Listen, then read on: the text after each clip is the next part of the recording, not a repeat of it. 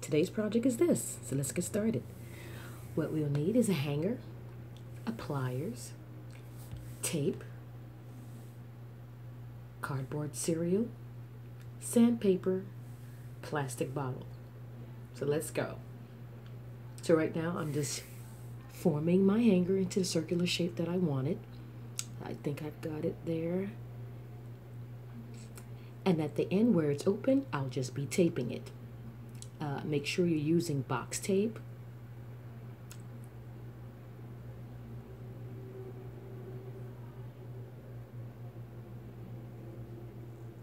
Now that I have my shape, I'm just squeezing it together. Make sure it's perfect. Girl's best friend. The center is perfect for snipping. Right there. So, after I got my shape, now I'm gonna, here's my box of cereal. I cut it into some strips. Now I'm going to tape the strips together to go around the whole diameter of my ring. So far, very easy.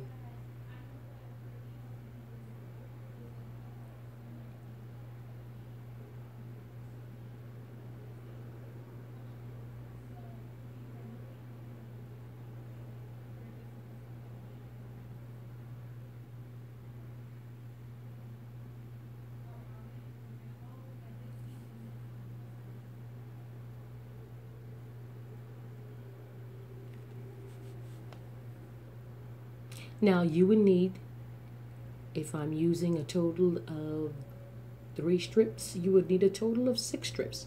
Because remember, we're doing the inside of the ring and the outer side of the ring. Now, the best way to tape this cardboard to my wire hanger is to hold the hanger in the center of the cardboard. After a couple of tapes, it should be easy from there.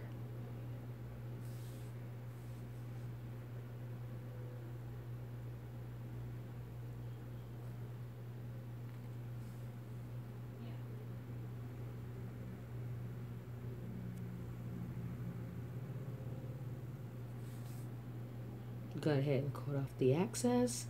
Now let's work on the inside.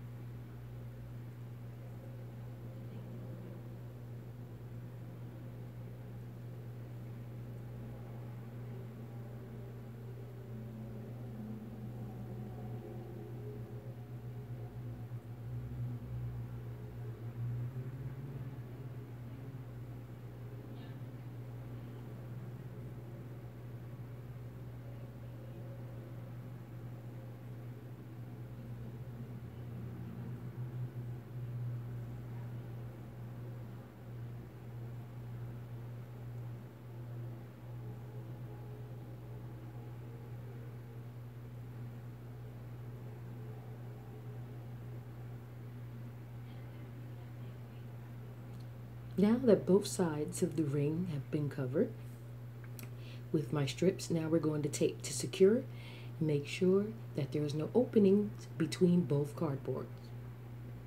This way, my structure will be stronger.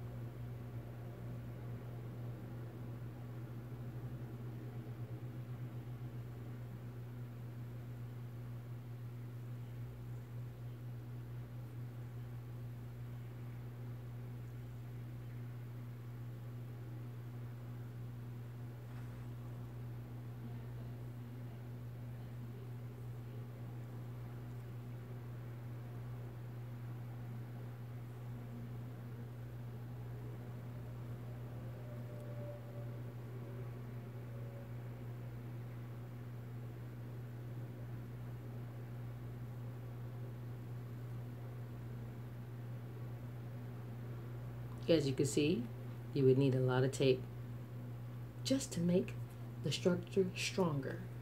Just in case you decided to make um, your tubes bigger, your structure would be able to handle it.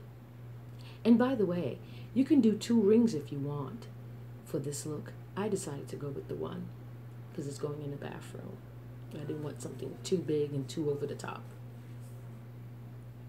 Now, here's where your plastic bottles come in. I have a plastic bottle from a soft drink that I purchased. Cut the top, cut the bottom off. I'm left with the sheet. It is a little bit tricky working with plastic bottles. They have a tendency of rolling up once you've cut it out. But as you can see, I'm stripping away the backing of the label. Then I'm going to cut it into a strip and sand. Here's what it looks like.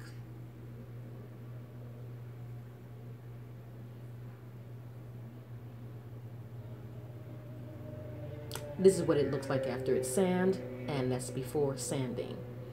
As you can see, this is clear after sanding it, giving it a light, a light sand. I got the look that I wanted. Now, you can just do this on one side, like I've done here.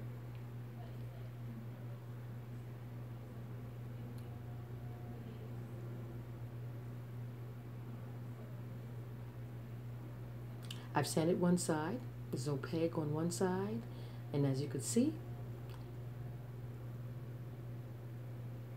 it still has the shine on one side, on the other side. Again, it's optional. You can sand both sides if you want. I went for just that one side. So now I'm going to roll it up like a tube because that's what I intended to do. Now that I've got the size of the tube that I wanted, I'm going to show you the tools that you would need to make sure that it sticks. And this here is my stencil maker.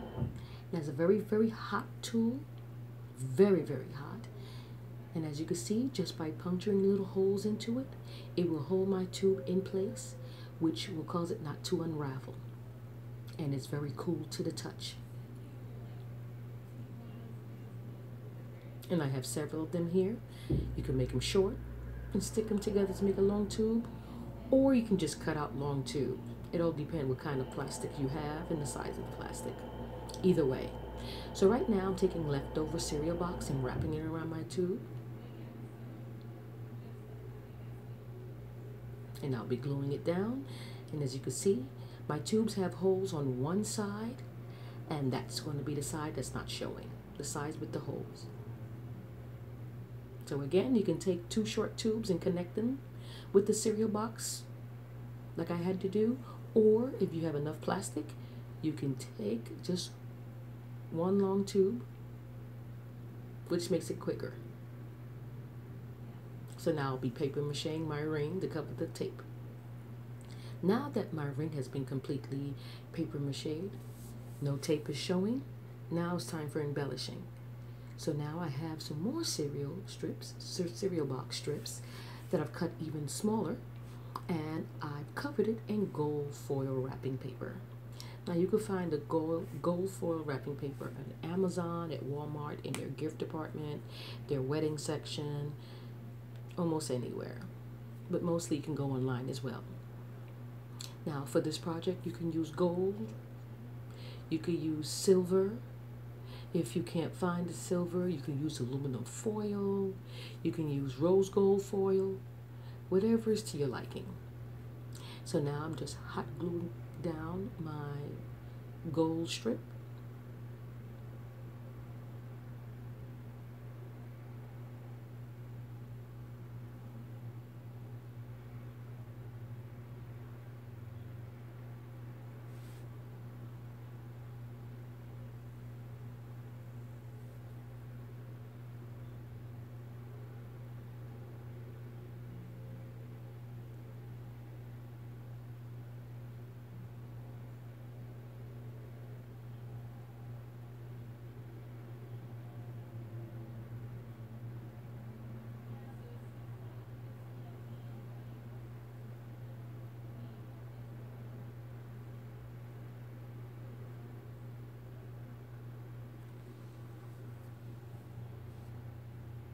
I prefer the cereal box. is more flexible with this kind of foil paper.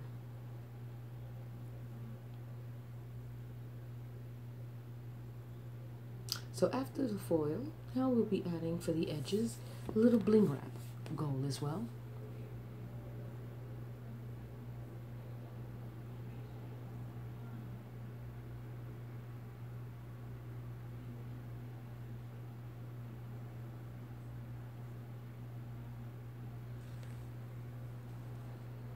And as you can see for this project, I didn't have to go out and get anything. Cereal box I already had, the cardboard, the glue sticks, the glue gun, the scissors, and the sandpaper.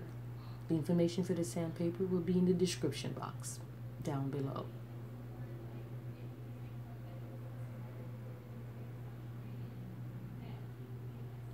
The whole idea of this is to use what you have around the house already or things you would have never thought of to create something beautiful.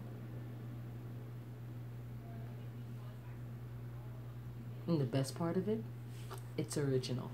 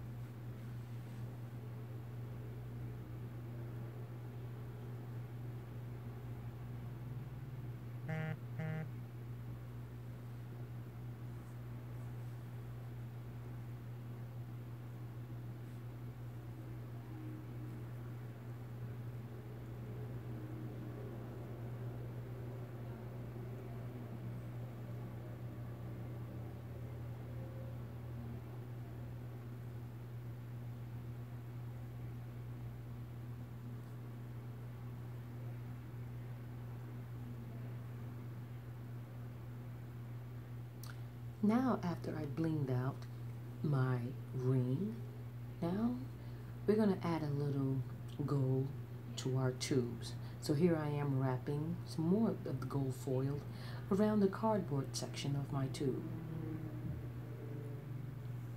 Now we're going to use just school glue and just a little bit of that so it doesn't clunk up under my foil because again the foil is very thin cutting off the excess. Uh, I didn't wrap it all the way around because the cardboard side of my tube, I want it to be glued down against the cardboard directly. And here we go.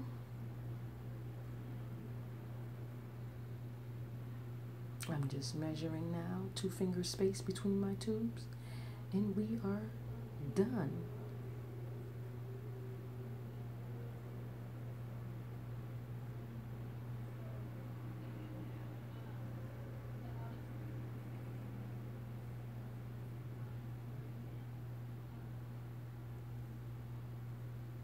Quick and easy project. I hope you enjoyed this.